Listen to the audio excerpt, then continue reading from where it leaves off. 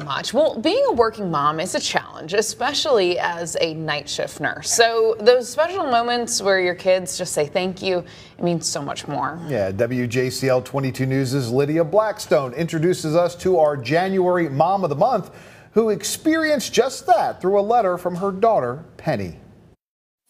I've tried not to cry since she told me that she won because I wanted to make it about her. Because it is. It's because of her that I'm here. Um, and it's because of me that she's here. Daria Miller has two little girls, her youngest, Penny, nominating her to be our WJCL 22 News Mom of the Month. I love her so much. Penny is in first grade at Savannah Classical Academy. She's sort of an old soul. Taking her mom on walks after work, then asking her, Hey, aren't you glad you got some fresh air? And of course, like any six year old, humbling her mom when needed. I was cleaning and she said, You know how to do that?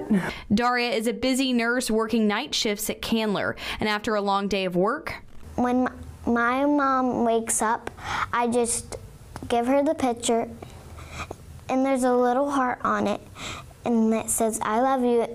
writing her mom letters, so it was no surprise when she had to write one in her art class at school. They got so excited. They got super into it, all wanted to win. They were really hyping each other up, like, oh my goodness, you're gonna win. No, you're gonna win. We selected Penny's note for these simple words. She helps people who are sick feel better with needles in their arms.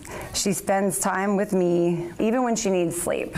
Daria giving her girls room to create I say that our house looks like someone took a bunch of art supplies and just threw them on the walls. and to give. I'm, I'm glad because I feel that a lot of that kindness and compassion is lacking right now in our society.